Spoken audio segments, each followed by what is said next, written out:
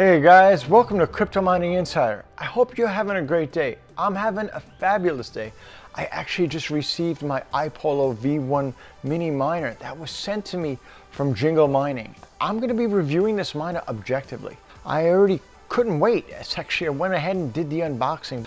I will let you know right now that I was extremely impressed with the packaging and even how it was shipped to me from Jingle Mining. Look at this package, this gold. It looks like it's designer almost.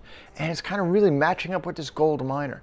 What's great about this iPollo V1 mini miner is it's very powerful. It can mine Ethereum and Ethereum Classic at about 300 megahash using only about 240 watts. And what's also great is it comes with a little antenna because it's Wi-Fi. So what a great little miner this is. Just picture, this is can replace five graphic cards, five 3070s, maybe a 53060 Ti's. And it's small and portable, and I think it'd be great addition to even put it in your home or office. I'm gonna be setting this up and I'm gonna do some mining of Ethereum, Ethereum Classic, as well as looking into some profitability and revenue projections going forward. So if you haven't already subscribed, don't forget to press down on that subscribe button. It really means a lot to me. I put a lot of hard work and effort into my videos, and I really appreciate it if you subscribe. But I can't wait. And let me get this miner up and started, and let's see what it can do. With this little iPollo miner, it's very easy to assemble. All I have to do is put the Wi-Fi antenna here and plug in the two of the six pins. And that comes to the power adapter that came with the unit. And it comes with the proper power cord too if you buy it from Jingle Mining. But once I put this all together, if I just configure the miner, set what is my mining pool, what is my wallet address and coin I want to mine, I am all set to start mining with this. So I already went and I already configured this miner to be mining on two miners pool and it's all set up to go. So with that said, let's plug this miner in and let's see how it runs. I have a power meter here and you'll hear it's the fans start up and normally it's more bold on the fans when it does its initial startup until it starts mining. The fan should calibrate and tune down a little bit because I actually set the fan speed a little bit lower. But I'll actually be doing a test. I have uh, be able to test how loud it is once this miner starts running. I can see it's still calibrating right now. It's only at about 28 watts. And once this gets up and going, we'll see how much power it's using at the wall as how loud is this. I am all set up and I think this miner is starting to mine. And actually, let me take the plastic off before I forget. Wow, this is very impressive. Very shiny. It's actually an extremely attractive unit. I can tell from my wattage that I am mining right now. But more importantly too is, is I can go right to my phone and that's what's great about this miner. I can go to the iPollo dashboard and access from my phone. So I am mining at about 298 megahash. It's still up and calibrating. I think overall it's pretty quiet. The way the fans are tuned, let me put a sound meter on it. So at about one foot away, I guess it's about 60 decibels, which is not too bad.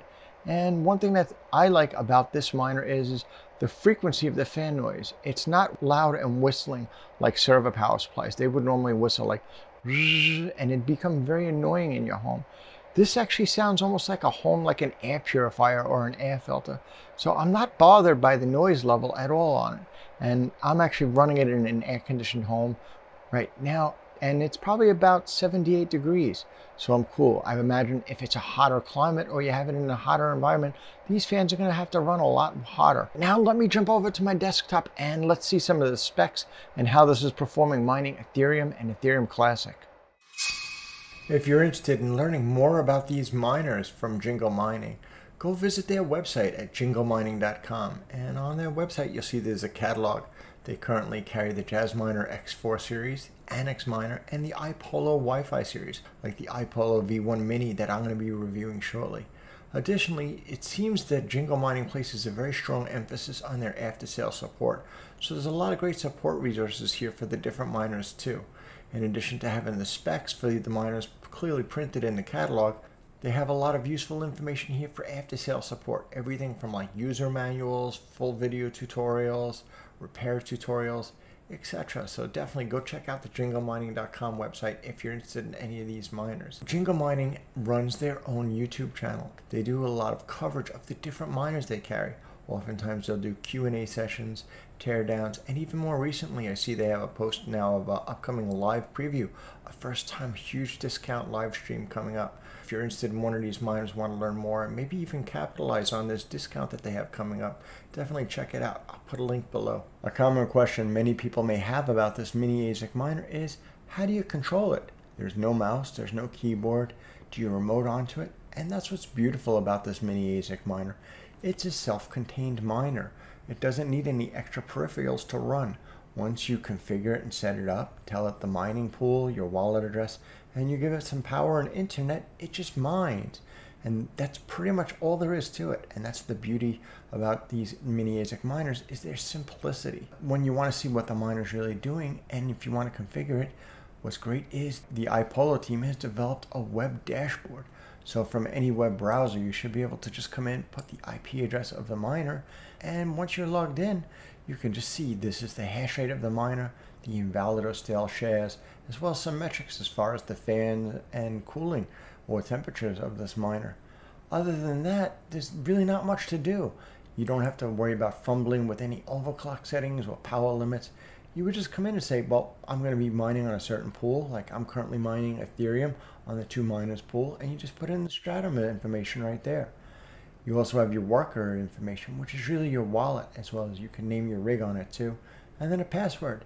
And once you set that up and you have your internet connection, you should be all ready to mine. Just make sure there's some power plugged in, Ethernet is all set up, and you're all ready to go. There's a few additional options here that you may want to look at in case you want to set it up some Wi-Fi, in case you needed some to access some log information or debug information to send to the Jingle mining team or even the iPollo team to help you resolve any issue. And then you just have some system commands for changing the password or even updating the firmware. Let's take a quick look at the specs for this miner. It's the iPolo V1 Mini, 300 megahash, 240 watts, but it has 5.8 gigabytes of free memory available.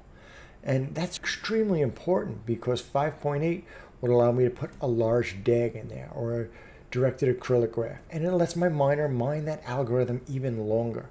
I know some of the other ASICs that some of the other companies have, they've only had five gigabytes, and they've recently had to stop mining Ethereum and had switched to maybe mining Ethereum Classic if they could. And that's what's a wonderful feature I think about this miner. It has that additional headroom. It has that additional memory. So if I can mine Ethereum even a little bit longer, it'll be able to take advantage of it. I'll be able to mine Ethereum potentially up till about March of 2024 and Ethereum Classic up till December of 20 of 31 is their estimate. Now, but we do know too that Ethereum is supposed to turn proof of stake very soon. If I'm looking at the when merge countdown, it's saying it's about 39 days, 13 hours from the time I'm recording on August 3rd until the difficulty bomb starts kicking back in. And then it may be a week after that that they actually do implement the proof of stake.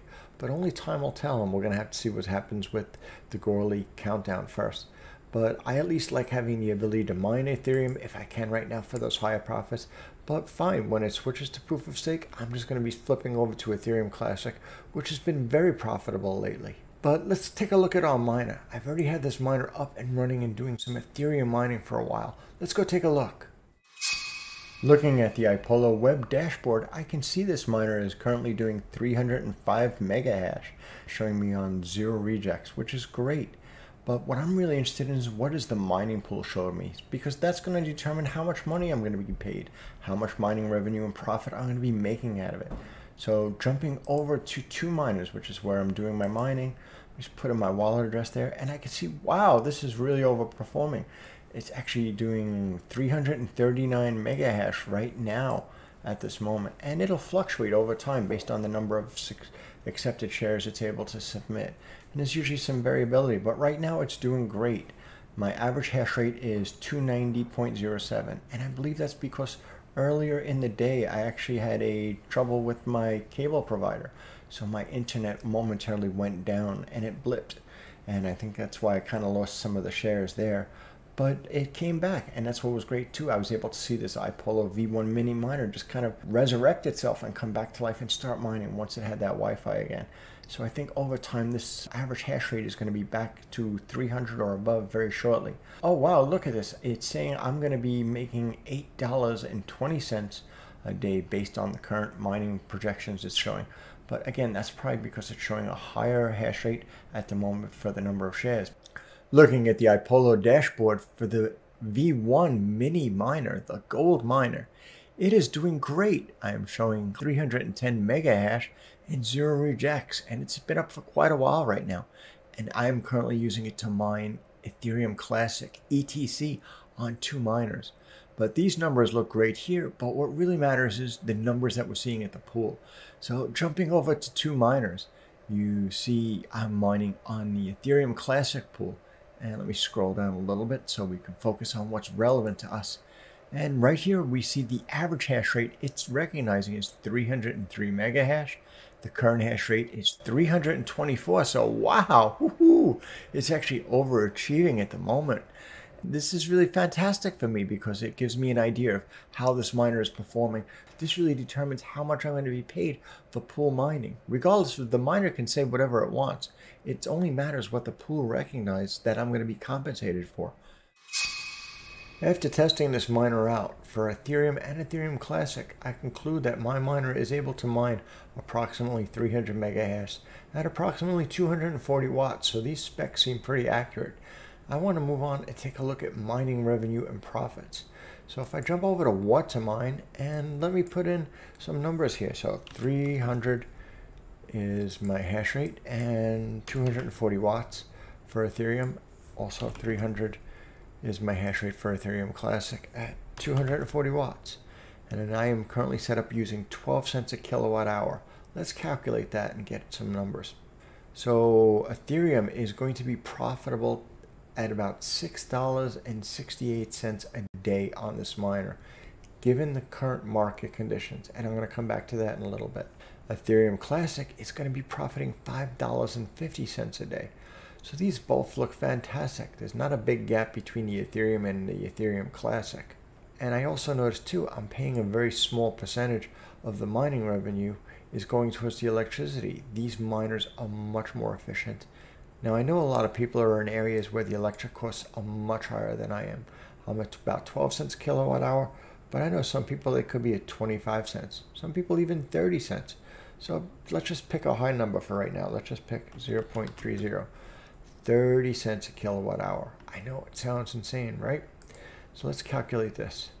If I'm still able to mine Ethereum, I would be still profitable by profiting $5.65 a day for Ethereum and $4.54 a day for Ethereum Classic.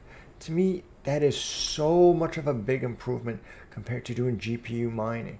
These numbers may look fantastic right now in what to mine, but please keep in mind that this is at the moment, given the current state of the market, and that could change like that.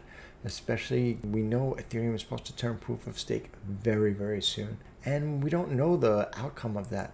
Some people speculate that when Ethereum turns proof of stake, there's not going to be enough coins to mine. There's going to be so much hash rate coming off of Ethereum that you know the other coins are not going to be able to absorb it or they may not be able to absorb it for a while a lot of people speculate too that a lot of the ASICs that are mining Ethereum are going to be just switching and redirecting over to Ethereum Classic. And when that happens, I do not think I can compete on mining Ethereum Classic with my GPUs, especially after seeing the efficiency like this ASIC I'm showing you today.